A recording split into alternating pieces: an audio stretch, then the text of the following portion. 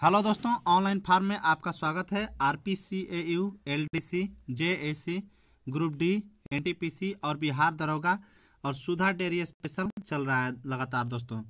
तो देखिए mock test का आज आठवां दिन है दोस्तों और करंट अफेयर के कुछ क्वेश्चन लेकर हम हाजिर हुए हैं दोस्तों। तो चलिए वीडियो शुरू करते हैं। वीडियो शुरू करने से पहले यदि चैनल पर नए हैं तो चैनल को सब्सक्राइब करके बेल बटन को दबा दीजिएगा। यदि चैनल को सब्सक्राइब कर चुके हैं तो जाते जाते वीडियो को लाइक करके ज़रूर जाइएगा दोस्तों। चलिए वीडियो शुरू करते हैं।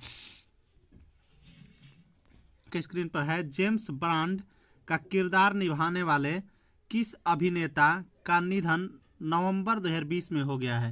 यानी जेम्स ब्रांड का अभिधा किरदार निभाने वाले किस अभिनेता का निधन नवंबर 2020 में हो गया है? Sean Connery, Pierce Brosnan, Roger Moore और ड्रेनियल क्रैग। कौन है? इसका सही आंसर होएगा शान कानरी। ठीक है दोस्तों, चलिए, दूसरा क्वेश्चन है कि किस राज्य ने भूमि और संपत्ति पंजीकरण के लिए धारणी वेब पोर्टल शुरू की है, किया है। ठीक है दोस्तों, ऑप्शन ए है मध्य प्रदेश, बी है तेलंगाना, सी है तमिलनाडु और डी है राजस्थान।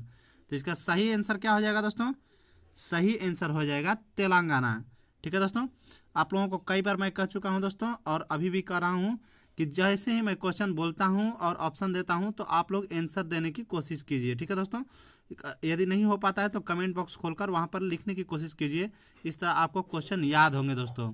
और आप तीन बार वीडियो को रिमाइंड करके देखिएगा, सारा क्वेश्चन आपको याद हो जाएँगे। ये दरोगा में, एनटीपीसी में भी और सुधार डेयरी का जो एग्ज़ाम सत्र को है, उसमें भी सभी में बहुत काम देने वाले हैं। चलिए, तीसरा क्वेश्चन बताते हैं दोस्तों।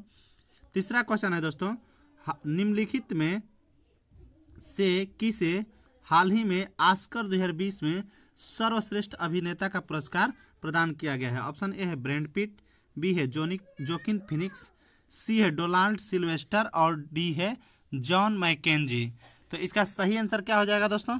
बताइए। इसका सही हो जाएगा जोकिन फिनिक्स। क्या हो जाएगा दोस्तों? इसका सही आंसर हो जाएगा जोकिन फिनिक्स। चलिए, चौथा नंबर क्वेश्चन देखिएगा दोस्तों। भारत का पहला महात्मा गांधी कन्वेंशन सेंटर किस अफ्रीकी देश में खोला गया है? ऑप्शन ए है कांगो, बी है नाइजीरिया, सी है घाना और डी है केन्या। तो सही आंसर क्या हो जाएगा दोस्तों? चौथा का। इसका सही आंसर हो जाएगा नाइजीरिया। ठीक है दोस्तों? चलिए, पाँच नंबर क्वेश्चन देखिएगा दोस्तों। पाँच नंबर क्वेश्चन है कि अक्टूबर 2019 में किस कंपनी ने भारत में महारत्न कंपनी का दर्जा दिया गया है। किस कंपनी को? महारत्न कंपनी। यहाँ पर छूट गया है। महारत्न कंपनी का दर्जा दिया गया है। ऑप्शन ए है H P C L B है P G C I L C है बी पी सी एल और डी है ए और बी दोनों, यानी एच पी सी एल और P G C I L तो एच पी सी एल और P G C I L दोनों को महारत्न कंपनी का दर्जा प्राप्त हुआ है। चलिए दोस्तों, अगला क्वेश्चन देखते हैं। छः नंबर छः नंबर क्वेश्चन है दोस्तों।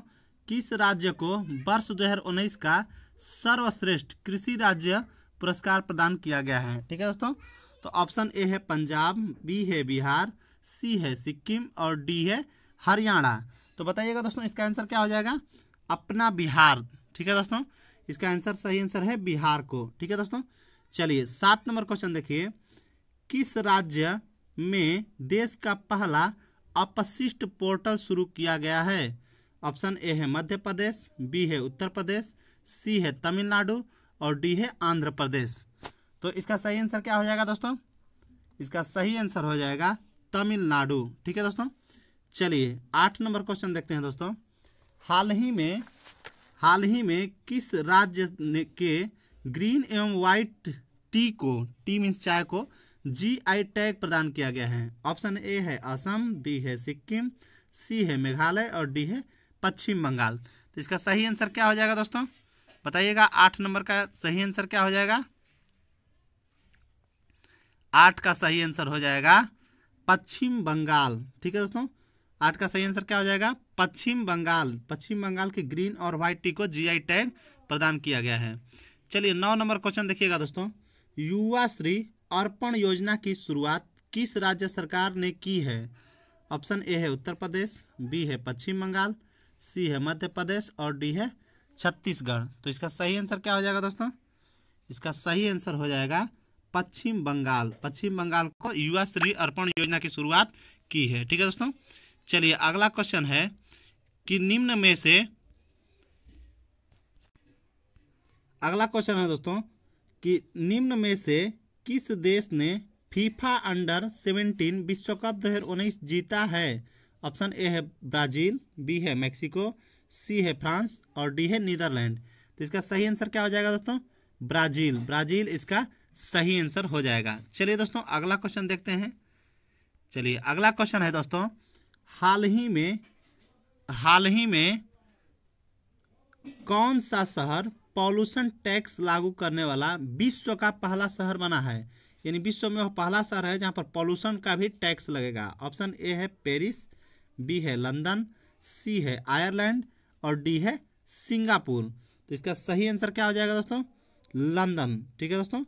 चलिए, नेक्स्ट क्वेश्चन देखिए। किस राज्य सरकार ने किशोरियों के लिए उजाला क्लिनिक को पुनः शुरू करने की घोषणा की है? यानी उजाला क्लिनिक को दोबारा शुरू करने की घोषणा किस राज्य सरकार ने की है? ऑप्शन ए है उत्तर प्रदेश, बी है मध्य प्रदेश, सी है हरियाणा और डी है राजस्थान। तो इसका सही आंसर क्या हो जाएगा दोस्तों? इसका सही आंसर हो जाएगा राजस्थान। ठीक है दोस्तों? तो राजस्थान। ठीक है दोस्तों? तो चलिए आज के लिए इतना ही दोस्तों। आ, मिलेंगे अगले फिर से वीडियो में किसी फॉर्म के साथ या फिर मॉक टेस्ट के साथ। ठीक है दोस्तों? इसी तरह की और भी वीडियोस के लिए हमारे चैनल पर यदि नए हैं तो चैनल को सब्सक्राइब कीजिएगा। हाँ दोस्तों एक चीज़ और बताना था कि आज कुछ कम ही क्वेश्चन रहा, क्योंकि मेरा कुछ तबीयत ठीक नहीं था, ठीक है दोस्तों? और इसके अलावा बता दें आपको कि, दोस्तों, जो ये एग्ज़ाम है, बिस्कोमान का जो हुआ है तो बिस्कोमान का रिज़ल्ट जल्द ही आने वाला है, और रिज़ल्ट आते ही इस चैनल पर आपके आपके चैनल पर ऑनलाइन फॉर्म पर ही तुरंत जो है इंटरव्यू के लिए एक मॉक टेस्ट शुरू किया जाएगा, और साथ में ही आपको जो निबंध लिखने वाला है, उसके लिए भी आपको एक मॉक टेस्ट शुरू किया जाएगा। लगभग पंद्रह बीस दिन का आपको टाइम मिलेगा और बीस दिन में आपको कंप्लीट तैयारी करा दिया जाएगा कहाँ से क्वेश्चन आएगा, किस तरह का क्वेश्चन आएगा, ठीक है दोस्तों? और किस तरह से क्वेश्चन पूछे जाते हैं, सारी चीज़ें आपको बताई जाएगी। तो यदि आपने बिस्कुमान का फॉर्म भरा है और रिज़ल्ट का इंतज़ार कर रहे हैं तो चैनल को सब्सक्राइब ज़रूर कीजिएगा दोस्तों। चलिए थैंक यू आज के लिए इतना ही।